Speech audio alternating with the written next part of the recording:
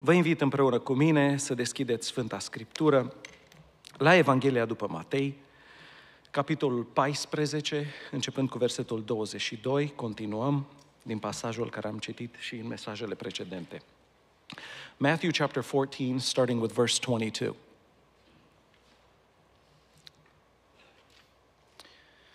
Umblarea pe mare. Îndată după aceea, Iisus a silit pe ucenicii săi să intre în corabie și să treacă înaintea lui de partea cealaltă până va da drumul noroadelor.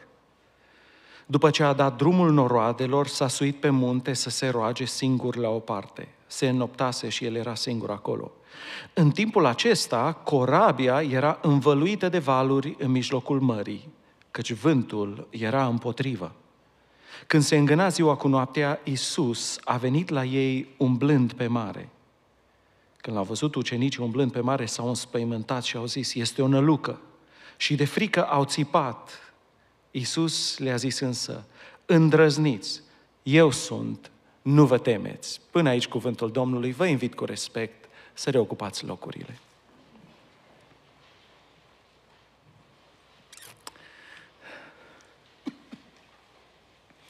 După cum știți, eh, am fost plecați la convenția din Florida, 54-a convenție a bisericilor penticostale. Pentru noi a fost un timp minunat. Ne-am întors la locul unde am petrecut 10 ani eh, cu acea biserică. Ne-am întâlnit cu mulți frați din România, din America, Ehm, mai mulți frați au transmis salutări și binecuvântări eh, bisericii Emanuel și le primim pe toate. Domnul să vă binecuvinteze, dragi frați și surori. Eh, după cum ați observat, Violeta nu este eh, cu noi în această dimineață. Am prins și un pic de răceală pe acolo și Violeta nu se simte așa de bine și n-a vrut să dea la nimeni, ne urmărește de acasă. Domnul să te binecuvinteze, dragă. Suntem conștienți, um, în vremea aceasta, parcă biserica noastră, sunt mai multe familii care trec prin încercări. Și uh, încercările uh, de multe ori sunt grele sau chiar foarte grele. Și cuvântul Domnului, uh, care l-am citit în acest text, găsim, dacă vreți, uh, ingredientele necesare pentru ca noi să experimentăm minunile Domnului, biruințe la încercările cu care ne confruntăm. Dacă ne uităm în Scriptură, uh, Dumnezeu nu caută la fața omului. Promisiunile lui de cele mai multe ori sunt condiționate. Dacă împlinim condițiile, cerințele care le cere Domnul de la noi, beneficiem de binecuvântările, de promisiunile, de minunile care ne are Domnul pentru noi. Și mă rog ca Domnul să lase aceste minuni în viețile noastre, în familiile noastre, în Biserica Emanuel. Uh, dacă ne uităm în textul acesta, putem să observăm ceva. Sunt o categorie de oameni care au o trăsătură de caracter în viața lor, fac ceva uh, care îl determină pe Dumnezeu să lase aceste minuni, aceste binecuvântări în uh, viața lor. Și secretul acesta este perseverență în ascultare. Și mi-am intitulat mesajul meu în această dimineață chiar așa, perseverență în ascultare uh, ucenicii aceștia Domnului au primit o poruncă de la Domnul. Să intre în corabie și să treacă uh, de partea cealaltă. Și ucenicii l-au ascultat pe Domnul. Și vedem din textul acesta o credință autentică este dovedită prin persistență în ascultare. Găsim pe Domnul că i-a trimis de cu o seară înainte, era acum dimineața, când se îngâna ziua cu noaptea, Iisus a venit la ei umblând pe mare. Găsim că ucenicii aceștia erau încă în ascultare de Domnul. Marcu, care relatează și el întâmplarea aceasta, a spus că Domnul a venit la ei în a patra strajă. Straja întâi este de la ora șase seara până la nouă seara. Straja a doua este de la 9 seara până la miezul nopții. Straja a treia este de la miezul nopții până la 3 dimineața. Straja a patra era de la 3 dimineața la 6 dimineața. Și Domnul a venit în a patra strajă când se îngâna ziua cu noaptea. Ucenicii aceștia a Domnului au persistat în ascultare undeva între 10 și 12 ore. Vântul le era împotrivă, valurile erau împotrivă. Dacă spune ceva, ascultarea aceasta lor este că oamenii aceștia au fost persistenți în ascultare. Cu siguranță că ucenicii aceștia erau complet epuizați. Nu știu dacă v-a luat un val de acesta care, să ziceți, de obicei în ianuarie mă voi duce la gym, I'm gonna get in shape, uh, I'm gonna start running, nu, mă pun pe treabă. Și dacă mergeți la gym și vă puneți pe un aparat o oră, după o oră de a fi pe aparatul acela, sunteți terminați. Dacă este cineva care e în formă, în shape, cum e fratele Bogdan, care este în România, Domnul să fie cu ei acolo, poate că rezistă două, trei ore. Uh, Ucenicii aceștia au văslit între 10 și 12 ore. Cuvântul împotrivă. După două ore, speranța lor este să mai vislească un minut. Și au persistat, și au persistat. Și Domnul părea că nu este nicăieri. Valurile erau mari, vântul le era împotrivă, Marea Galilei uh, se trece între o oră și două ore maxim, cu vele sau uh, cu văslitul. Am trecut Marea Galilei când am fost în Israel și lucrul acesta pentru ei când au pornit trebuia să fie așa, o oră, două maxim, dacă văsleau lejer. După trei ore, patru ore, cinci ore, șase ore, n-au văzut nici un rezultat pe înserate, Domnul s-a uitat la ei și a văzut că erau în mijlocul mării. Și au rămas în mijlocul mării, văslind, fără să facă nici un avans, ore în șir. Dacă prioritatea ucenicilor ar fi fost autoconservarea, self-preservation, ucenicii aceștia, după două sau trei ore, întorceau barca și veneau din nou la mal. Nu? Dacă ținta noastră este autoprezervarea, să, să am grijă de mine. Când vine încercarea vrăjmașilor, fraților, să știți că cel mai ușor lucru este să te întorci și să vii înapoi. Vă spun cu tristețe, probabil că unul din cele mai triste uh, peisaje este să vezi oameni care au venit la Domnul cu sinceritate și au dat viața Domnului. Uh, s-au pus în mâna Domnului, au venit valurile și încercările și l-au lăsat baltă pe Domnul, a lăsat cu baltă calea credinței și s-au întors înapoi. Am văzut un tânăr de acesta în una din bisericile care am fost înainte de Emanuel. L-am observat în biserică pe un tânăr, era înalt, over six foot. Venind la biserică, l-am văzut venind la biserică și l-am văzut că era mișcat uh, uh de cântarea din biserică, era mișcat la lacrimi. Fiecare mesaj credea că este pentru el, mă uitam la el, lăcrima la cuvântul Domnului. Într-o duminică dimineață a fost un mesaj special cu chemare. Dacă vrea cineva să-și dea viața Domnului, să vină în față. A venit de pe bancă până în mijlocul bisericii, stând acolo în picioare, cu lacrimi în ochi. Da, eu sunt gata să-mi dau viața Domnului. A îngenunchiat acolo și și-a predat viața Domnului. Mare bucurie în biserică. L-am văzut intrând cu lacrimi în ochi în apa botezului și a predat viața Domnului. Toată biserica s-a bucurat. Bunicii lui fuseseră credincioși. Și cât de mult ne-am bucurat că a venit, dar s-a întâmplat ceva. Atunci când a intrat în ascultare de cuvântul Domnului, de chemarea Domnului care îl chema, a venit și vrăjmașul. Au venit vântul care i-a stat împotrivă, au venit valurile. Și cea mai tristă imagine este să vezi oameni care i-a chemat Domnul, care au fost scoși din mocirlă, spă, spălați de păcat, îmbrăcați cu o haină nouă, să se poticnească pe cale și să se întoarcă din nou în mocirla de unde au plecat. De ce? Pentru că se poticnesc de circumstanțele din viața lor, de vântul, de atacul vrăjmașului care vine împotrivă. Și am auzit că spunea tânărul acesta la unul din prietenii mei și spunea, înainte să mă pocăiesc, toate lucrurile mergeau bine. Am făcut atâția de mulți bani că nu mai știam ce să fac cu ei. Făceam zeci de mii pe săptămână. Acum nimic nu mai merge bine. nu mai fac bani, am probleme în tot locul, uh, forget us. Și s-a întors din nou în lume. Știți care este tragedia? Dacă oamenii care își dau viața Domnului, credincioșii care spun da chemării lui Dumnezeu, Domnul are o chemare pentru fiecare din noi, care necesită un răspuns de la noi, să spunem da. Cum a spus Domnul ucenicilor, intrați în barcă. Ucenicii au intrat în barcă. Domnul ne cheamă câteodată la o slujire, la o chemare. Dar vine împotrivirea.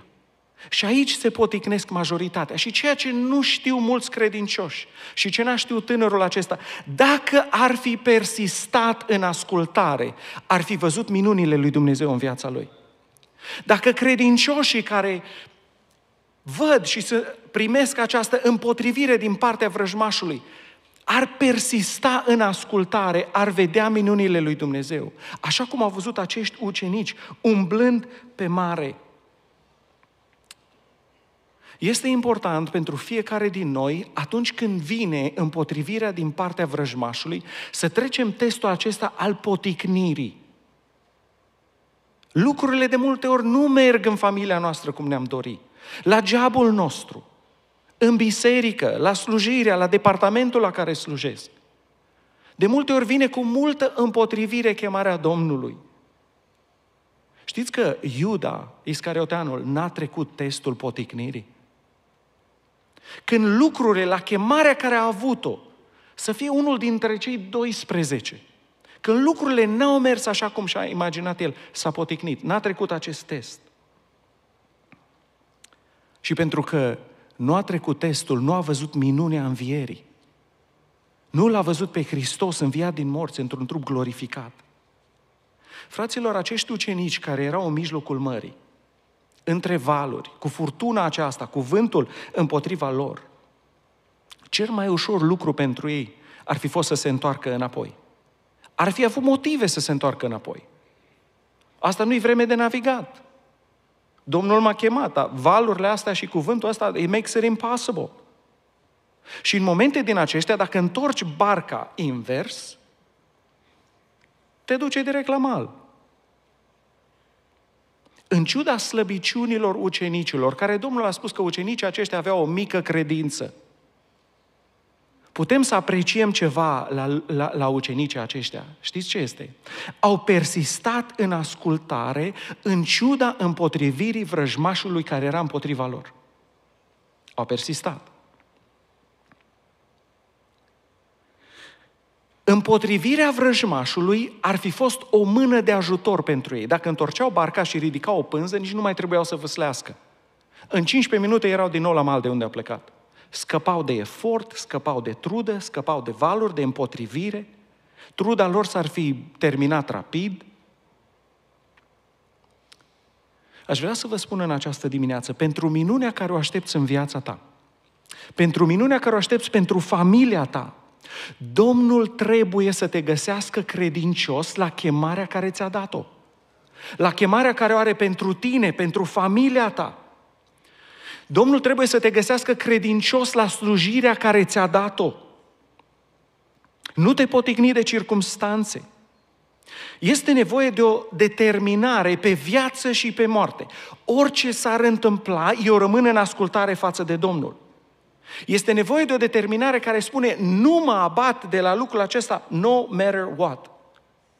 Mulți vor să vadă minuni.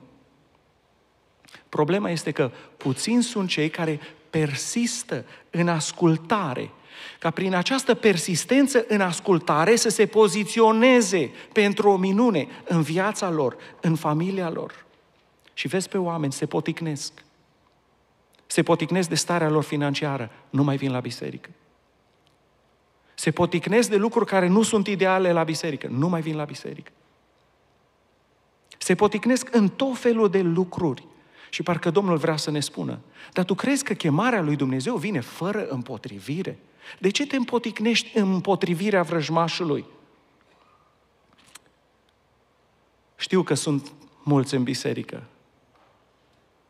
și mulți din cei care ne urmăresc online, văsliți de multă vreme și împotrivirea nu a încetinat deloc. Poate că stărui stăruiești după Duhul Sfânt de multă vreme, am un mesaj pentru tine. Don't give up. Nu te lăsa bătut. Poate că te lupți cu o boală de multă vreme. Don't give up. It doesn't matter de cât timp este. Poate că te lupți pentru căsnicia ta de ani de zile. Don't give up. Rămâi persistent în ascultare. Poate te rogi pentru copiii tăi, pentru nepoții tăi, de ani de zile. Don't give up. Dacă vrei să vezi minunile lui Dumnezeu, persistă în ascultare. De ce? Domnul este pe drum chiar acum. Domnul nu te-a pierdut în vedere în nici un moment. Dacă ne uităm la relatarea din Marcu, vedem ceva. Domnul i-a silit pe ucenici să intre în corabie, le-a dat drumul, i-au început să văslească și spune în versetul 47, când s-a înserat, corabia era în mijlocul mării și urmau să rămână în mijlocul mării până dimineața, împotriva vântului, să nu facă niciun progres. progres. Iar Isus era singur pe țăr. Și observați, a văzut pe ucenici că se necăjesc cu văslirea. A văzut efortul lor, că îi dor mușchii, că sunt terminați, că sunt epuizați. Domnul a văzut lucrul acesta. Știți ce îmi spune mie lucrul acesta? Domnul știe unde tu ești astăzi, acum. Știe cu ce te confrunți. Știe cât de grea este povara ta. Știe cât de grea este împotrivirea văjmașului în viața ta, în familia ta, la copiii tăi. Știe, vede. Domnul nu era inconștient de situația lor, se uita la ei. Dar ei nu-L vedeau pe Domnul. Ei nu-L vedeau unde este Domnul.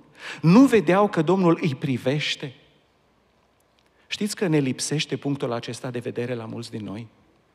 Nu suntem conștienți că chiar acum, în momentele acestea, Domnul se uită la mine. Că nu m-a pierdut în vedere nici un moment. Aș vrea să spun, chiar dacă tu crezi că nimeni nu vede, nimeni nu simte, nimeni nu înțelege situația ta, un singur lucru este sigur, Domnul nu te-a pierdut din vedere. Spune cuvântul Domnului în Psalmul 121 cu versetul 3, a doua parte. Cel ce te păzește nu va dormita. Iată că nu dormitează, nici nu doarme cel ce păzește pe Israel. Domnul este păzitorul tău, Domnul este umbra ta pe mâna ta cea dreaptă. Știți că atunci când noi am venit copiii Domnului, El s-a angajat ca să fie păzitorul nostru. El îi păzea pe ucenici care erau pe mare. Și spune că El este Dumnezeu. El nu are nevoie de o pauză să se odihnească. He doesn't take a break. De la geabul acesta ca să vegheze. Spune, el este, el este păzitorul tău, este umbra ta pe mâna ta cea dreaptă. La tot ceea ce faci, la lucrul care ți este încredințat, El este acolo cu tine, cum este o umbră. Domnul știe cu ce te confrunți și are compasiune pentru tine și pentru situația ta. Știți că Domnul ia fiecare lucru care ni se întâmplă nou într-un mod foarte personal. Lucru care îl simt eu, durerea care o simt eu, o simte și el. Știți lucrul acesta? Nu există sentiment de durere, de necaz, de apăsare, de împotrivire din partea vrăjmașului pe care el să nu-l simtă. Observați ce spune cuvântul Domnului. Faptele Apostolilor, capitolul 9, cu versetul 3. Este vorba de Apostolul Pavel când era încă Saul, la chemarea Domnului. Fapte, capitolul 9, cu versetul 3. Pe drum, când s-a apropiat Saul de Damasc, deodată a strălucit o lumină din cer în jurul lui. El, Saul, a căzut la pământ și a auzit un glas care îi zicea, Saule, Saule, pentru ce mă prigonești? Cine ești tu, Doamne? a răspuns el. Și Domnul a zis, eu sunt Isus, pe care tu îl prigonești. Pe cum îl, îl, îl prigonea el pe Domnul Isus? Sau prigonea biserica, pe credincioșii din biserica primară. Îi bătea, îi arunca în temniță, făcea prăpăd, spune cuvântul Domnului. Observați cum tratează Dumnezeu, Domnul Isus, situația copiilor lui, a credincioșilor lui. Îi spune, Saule, Saule, nu spune, pentru ce prigonești biserica mea? Nu, nu. Saule, Saule, pentru ce mă prigonești? Eu sunt Isus pe care tu îl prigonești. Știți că la situația cu care vă confruntați dumneavoastră acum, El simte durerea dumneavoastră? Și o ia într-un mod personal? Diavolul când vă vine împotrivă, vine împotriva Domnului. Și noi trebuie să vedem lucrul acesta. Domnul era perfect conștient de situația de criză a ucenicilor. Avea un plan minunat. Urma că atunci când se îngână ziua cu noaptea, în a patra strajă, la ultimul minut, el să vină pe mare la ei. El știa lucrul acesta. Problema, ucenicii nu știau lucrul acesta. Știți că Domnul are un plan pentru viața noastră, pentru familia noastră? Are o soluție, are o rezolvare. El știe situația, știe rezolvarea. Știți care este problema noastră? Noi nu cunoaștem rezolvarea. Noi nu cunoaștem soluția Domnului. Dar care este soluția? Să înaintăm, să persistăm în credință. În credință că El are un răspuns. Spune cuvântul Domnului 1 Corinteni, capitolul 10, cu versetul 13. Nu va ajuns nicio ispită care să nu fi fost potrivită cu puterea omenească.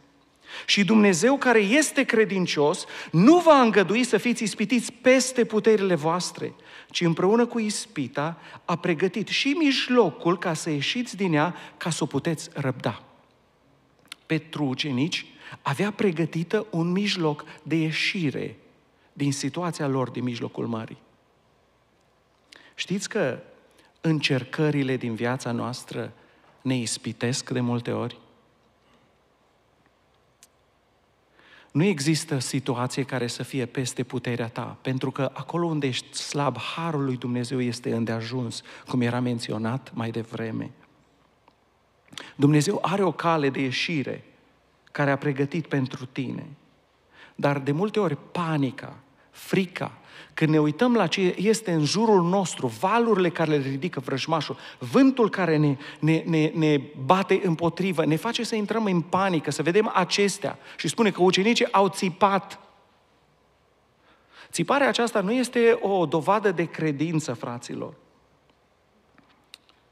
Domnul are o soluție pentru tine.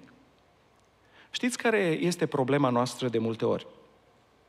Ne uităm la valurile, la împotrivirea care uh, vine uh, din uh, partea vrăjmașului și spunem că asta cred că este voia Domnului. Imaginați-vă că ucenicii să se uită la valurile acestea și să spună valurile acestea și vânturile acestea sunt de la Domnul, le-a trimis aici ca noi să murim aici în mijlocul mării. Iona a intrat într-o furtună pentru că nu a ascultat de Domnul. Da, sunt furtuni în care intrăm noi din pricina neascultării ă, noastre. Facem exact opusul la ceea ce ne uh, cere Domnul și intrăm într-o furtună. Pentru că așa am decis noi. Dar ucenicii au intrat într-o furtună nu pentru că n-au ascultat. Au intrat într-o furtună pentru că au ascultat de Domnul și de glasul Domnului. Domnul i-a silit, Domnul i-a constrâns să intre în acea corabie. Morala este aceasta. Faptul că treci prin încercare sau prin mare încercare nu înseamnă că Domnul te-a lepădat. Nu înseamnă că Domnul nu te mai iubește. Faptul că treci printr-o încercare nu înseamnă că este o pedeapsă din partea Domnului. Faptul că treci printr-o încercare nu înseamnă că tu nu mai ești în voia Lui.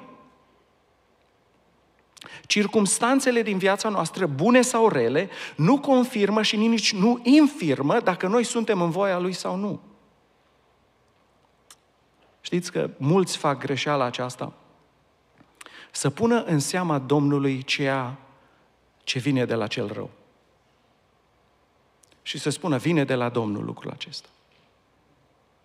Ucenicii, dacă ar fi făcut lucrul acesta, ar fi fost o greșeală mare. Să spună, valurile acestea vin de la Domnul. Vântul acesta este din partea Domnului. Pentru că atunci când atribui lui Dumnezeu ceea ce vine de la cel rău, lucrul acesta te va face să descurajezi să nu ai credință să te rogi pentru rezolvare.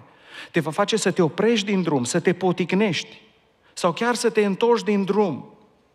Imaginați-vă dacă ucenicii credeau lucrul acesta. Un lucru este cert. Voia Domnului pentru noi, pentru viața noastră, pentru chemarea noastră, întotdeauna vine cu multă sau mare împotrivire. Dar împotrivirea vrăjmașului nu poate să împiedice sau să întârzie planul lui Dumnezeu pentru noi. Planul lui Dumnezeu pentru tine și pentru casa ta nu poate să fie oprit de vrăjmaș, dar poate să fie oprit sau zădărnicit de mine. Când noi nu persistăm în ascultare. Spune cuvântul Domnului 2 Timotei, capitolul 4, cu versetul 5. Dar tu fi treaz în toate lucrurile, rabdă suferințele. Fă lucrul unui evanghelist și împlinește-ți bine slujba.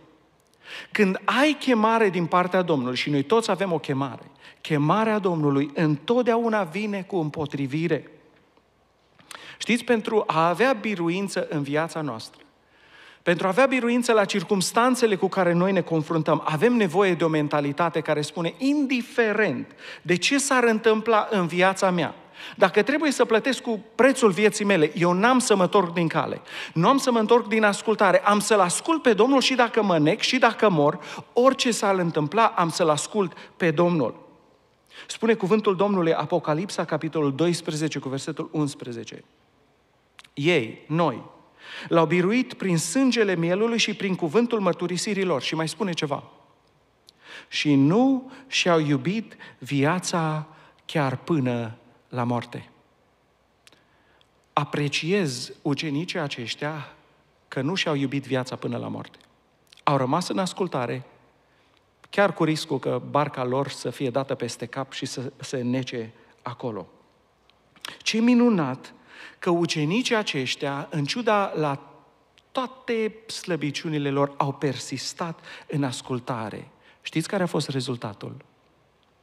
Au văzut o mare minune. Au văzut ceva ce n-a văzut lumea de când a fost lumea făcută.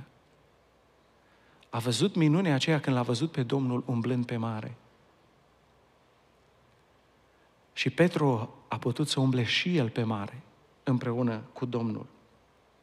Domnul ne cheamă în această dimineață să avem o hotărâre că orice s-ar întâmpla în viața noastră, orice atacuri din partea vrăjmașului, orice vânturi, orice valuri, noi nu o să ne oprim din chemarea Domnului pentru noi. Pentru a avea biruință, avem nevoie de persistență în ascultare. Chemarea ucenicilor nu a fost să meargă până în mijlocul mării și apoi să se înnece. Chemarea Domnului pentru tine, pentru viața ta, pentru familia ta, nu a fost ca să ajungi în mijlocul mării a încercărilor din viața ta și acolo tu să te înneci. Domnul nu ți-a dat o familie și copii pentru că are nevoie de oameni ca să populeze iadul. Nu, ți-a dat pentru cer. Domnul nu ți-a dat copii pentru că are nevoie de orfani. Nu, Domnul vrea să-ți dea viață, să a, copiii tăi să aibă părinți. Furtuna, împotrivirea, de cele mai multe ori vin din partea vrăjmașului. Da, într-adevăr, sunt excepții. Cum s-a rugat Apostolul Pavel și a spus, harul meu ți este îndeajuns. Dar până nu ne vorbește Domnul în felul acesta, orice împotrivire trebuie să o tratăm ca venind de la cel rău. Problema este când ne uităm la valuri, ne uităm la vânt și le punem pe seama Domnului. Aș vrea să ne uităm la o altă relatare, la potolirea furtunii. Din nou sunt pe mare cu Domnul Isus. Marcu, capitolul 4, cu versetul 36. Spune, după ce a dat drumul norodului, ucenicii l-au luat pe Domnul în corabia în care se afla și așa cum era. Împreună cu el mai erau și alte corăbii. Din nou, s-a stârnit o mare furtună de vânt care arunca valurile în corabie, așa că mai că se umplea corabia. Și el, Domnul Iisus, dormea la cârmă pe căpătâi. Din nou, se pare că Domnului nu-i pasă.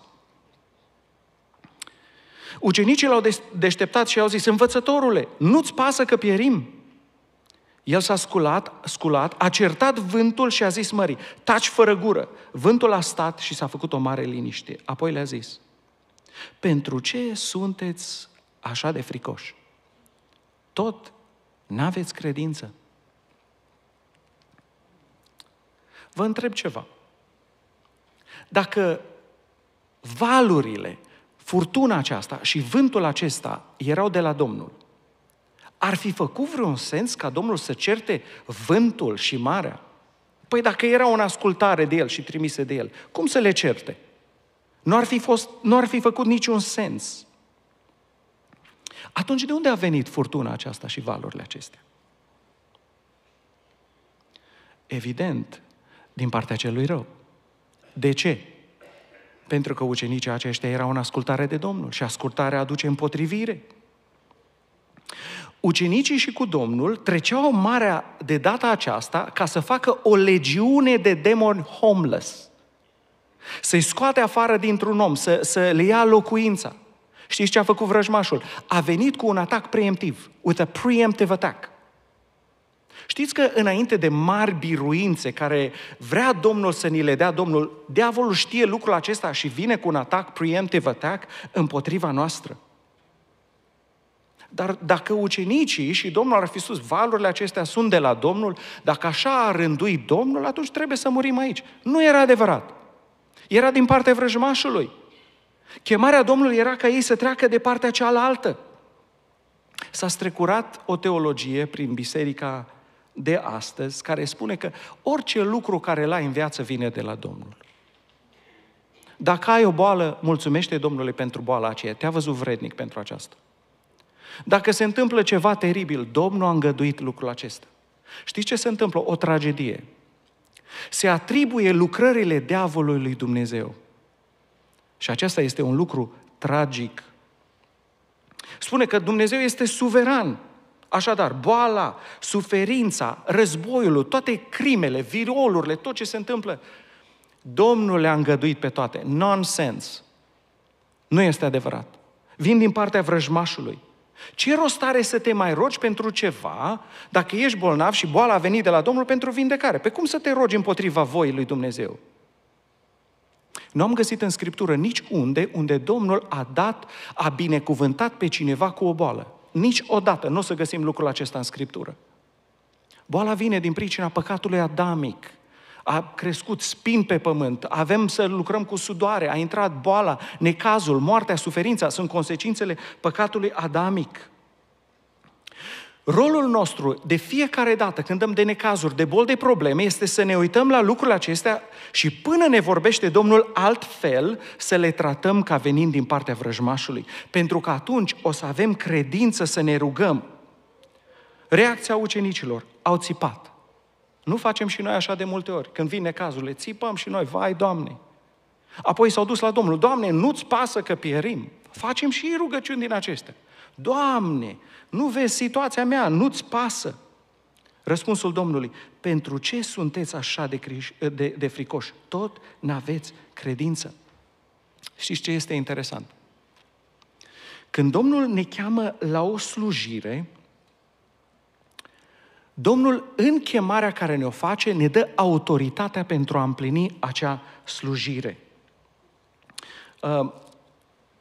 Uh, în uh, Matei, capitolul 10, cu versetul 1, când i-a trimis Domnul pe ucenici. Apoi Isus a chemat pe cei 12 ucenici ai săi și le-a dat putere să scoată afară duhurile necurate și să tămăduiască orice fel de boală și orice fel de neputință. Atunci când Domnul își trimite ucenicii, îi împuternicește. Atunci când Domnul i-a chemat pe ucenici să urce în barcă și să treacă de partea cealaltă, chemarea aceea avea autoritatea necesară ca ei să treacă pe partea cealaltă. Știți care era așteptarea Domnului când ei erau în valurile acelea și ei au, au țipat și au strigat, Doamne, nu-ți pasă că perim. S-a așteptat de la ei ca ei în momentul acela să-și asume responsabilitatea care au și să certe ei vânturile. Să certe marea să certe duhurile necurate care vin împotriva lor. Știți că Domnul vrea, așteaptă de la noi, a făcut lucruri pentru noi, dar ne-a dat putere, ne-am puternicit și la chemarea care o are pentru tine, pentru mine, pentru familia ta, Domnul ți-a dat autoritate să mustri duhurile. De multe ori noi țipăm și plângem și Domnul spune, your attention is misplaced. Îndreaptă-ți privirile împotriva atacurilor vrăjmașului. Multe din rugăciunile noastre sunt o expresie a necredinței. Dar aș vrea ca în această dimineață să ne rugăm cu credință. Vă invit cu toții să ne ridicăm în picioare. Și aș vrea să facem o rugăciune de mărturisire înaintea Domnului și spunem Domnului, Doamne, ne pare rău că am falimentat la capitolul credinței și am avut multă credință și am făcut rugăciuni din frică și am asumat anumite lucruri că au fost de la Tine. Să cerem ca sângele Domnului să ne spele, să ne curățească, să lăsăm ca Duhul Sfânt să ne cerceteze inima. Apoi să venim împotriva vântului, să venim împotriva valurilor în numele Domnului Isus Hristos. să certăm duhurile întunericului care au venit împotriva noastră și a familiei noastre. Prețul pentru iertare, vindecare, restaurare, pentru rezolvare a fost plătit la cruce. Astăzi sărbătorim lucrul acesta. Să venim la Domnul și spunem, Doamne, noi vom trece de partea cealaltă. Doamne, printr-o minune ne vei trece pe partea cealaltă a mării. Doamne, vrem să împlinim planul Tău, chemarea care o ai pentru noi. Vrem astăzi din nou să ne recalibrăm viața, să intrăm în planul Tău, în timpul Tău și Domnul să facă lucrul acesta și în timpul acesta învii pe slujitor să vină în față. Să ne rugăm.